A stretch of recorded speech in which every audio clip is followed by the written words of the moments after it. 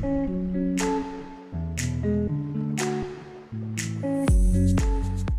ริง ๆ ผมคิดว่าไม่ได้จำเป็นว่าจะต้องเป็นยูนิคอร์นหรือเปล่านะครับ ผมคิดว่า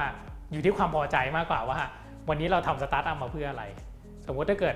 แน่นอนว่าความฝันอันสูงสุดของทุกๆ คนเนี่ยก็คืออยากทำสตาร์ทอัพแล้วประสบความสำเร็จ มันขึ้นอยู่กับว่าเรา define คำว่าสำเร็จอย่างไง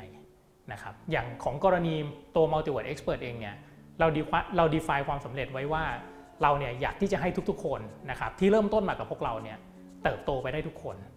นะครับการเติบโตไปได้ทุกคน ความพอเพียงของแต่ละคนอันนี้มันต่างกันถูกไหมครับเพราะฉะนั้นอันเนี้ยบางเรื่องเนี่ยเราให้เขาได้ บางเรื่องเราต้องให้เขาต่อยอดเขาเอง แต่อย่างน้อยที่สุดเนี่ยเราส่งเสริมเขาเต็มที่ เพราะฉะนั้นเนี่ยการที่น้องแต่ละคนเองเนี่ยเขามีความสามารถนะครับวันหนึ่งเราก็สนับสนุนเขา เพื่อให้เขาโตไปมากกว่าเรา ให้เขาเก่งกว่าเรา ซึ่งวันเนี้ยน้องๆทุกคนเนี่ยเก่งกว่าผมไปหมดแล้ว นะครับอันนี้เป็นเรื่องปกตินะครับ แต่แน่นอนว่าสิ่งที่เรายังต้องทำต่อและและต่อเนื่องต่อไปเนี่ยคือ เราต้องสร้างแล้วก็ achieve ความฝันของเขาเนี่ยให้ได้เยอะที่สุดเท่าที่จะเป็นไปได้ เพราะฉะนั้นความฝันเขาจะเป็นยูนิคอร์นหรือไม่ได้เป็นยูนิคอร์นสตาร์ทอัพคนไหนอยากจะเป็นยูนิคอร์นหรือไม่เป็นยูนิคอร์นผมว่าไม่ได้สำคัญเลยสำคัญแค่ว่า